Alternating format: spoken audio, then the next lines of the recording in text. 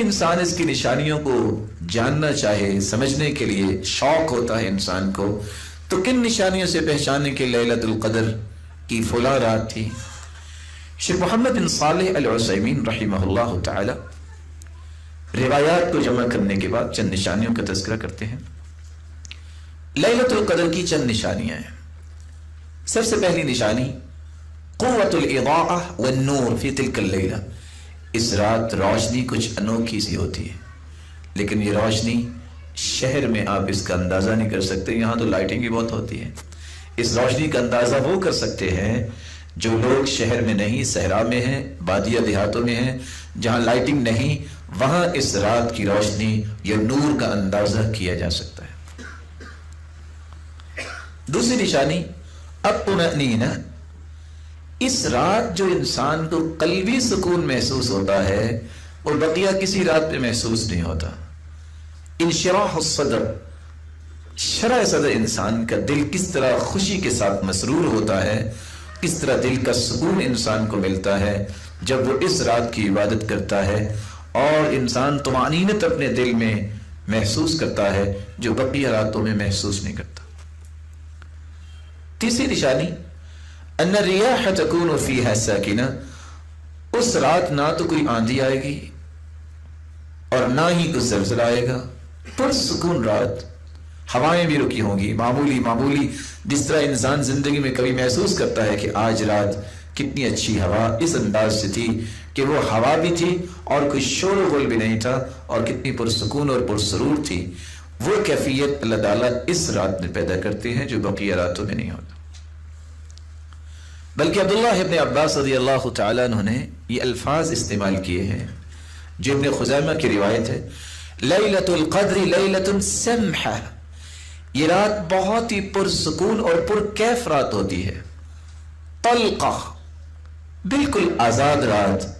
कोई घुटन नहीं, कोई तंगी नहीं, बल्कि इंसान को इंतहाई शरा सदर नसीब होता है। ला वला बारिदा।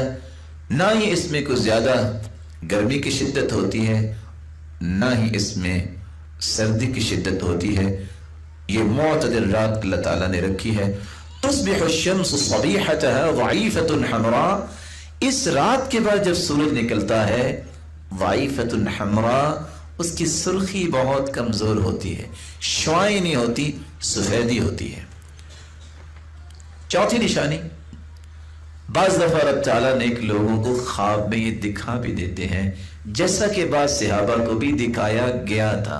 और जैसा कि अल्लाह के रसूल सल्लल्लाहु अलैहि वसल्लम को भी ख्वाब में दिखा दिया गया था कि ये लैलतुल कदर की रात है।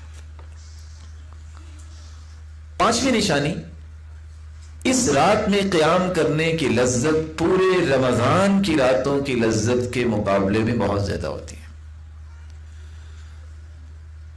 उबई इब्ने एक छठी निशानी बयान की है।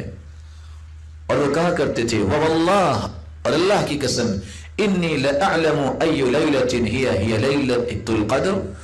मैं जानता हूँ कि लैलतुल कदर की रात कौन सी रात है।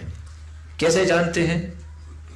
अल्लती अमरना बिहा रसूलुल्लाह सल्लल्लाहु अलैहि वसल्लम, जिस रात के बारे में अल्लाह के सुनने में हुक्म दिया, किस बात का?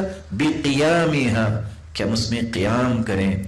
या लैलतु सबीहत सबरीन ये सत्ताईसवीं रात के बाद जो सुबह होती है और अनावतुहा और उसकी निशानी ये है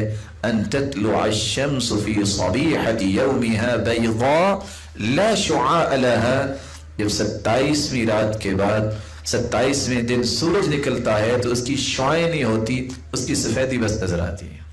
और ये रिवायत सही मुस्लिम की है, वन सेवन नाइन। और अपने काब रज़ी अल्लाह की दूसरी रिवायत सुन अबी दाऊद में 1378 में ये अल्फाज भी मौजूद हैं कि जब सूरज निकलता है तो किस तरह? मिसल पस्ती, जिस तरह खुला थाल होता है। लई जब तक सूरज बुलंद नहीं हो जाता, उस वक्त तक उसकी शुआएँ नहीं होती। अब्दुल्ला अब्बास की बात भी आपने सुनी।